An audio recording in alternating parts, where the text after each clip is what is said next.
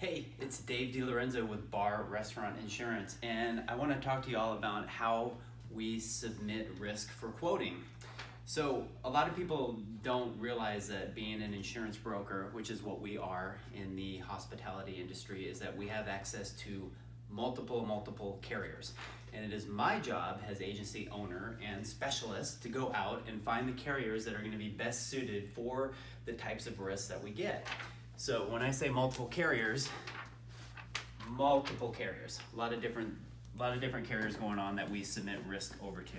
So a lot of the process happens when I go out and I meet with a potential client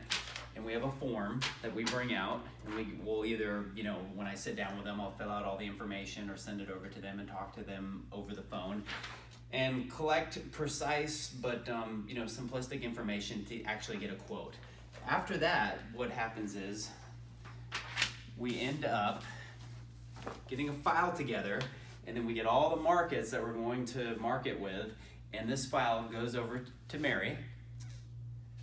and Mary submits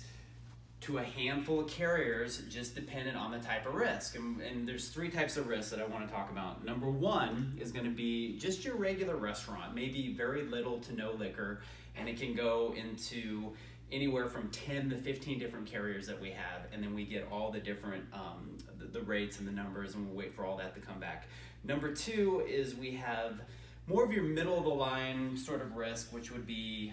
say the sports bar or somebody that's doing 50% liquor or maybe a little bit more has a little bit of entertainment such as pool maybe they have a bouncer or somebody checking IDs something to that effect the, our carriers get a little bit more limited, but we do have access to quote multiple carriers on that as well. And then the third type of risk that we run into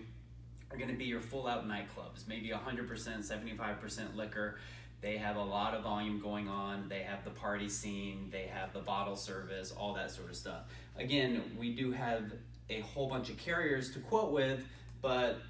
it kind of goes down to a, a limit, more of a limited number than say the first type of risk that I had alluded to being more of a restaurant sort of carrier. So that's the process, or at least a little bit of the process of how we go about getting quotes and how we have to deal with several different underwriters, several different companies, but we do put a lot of work into it and we love doing it. Thank you.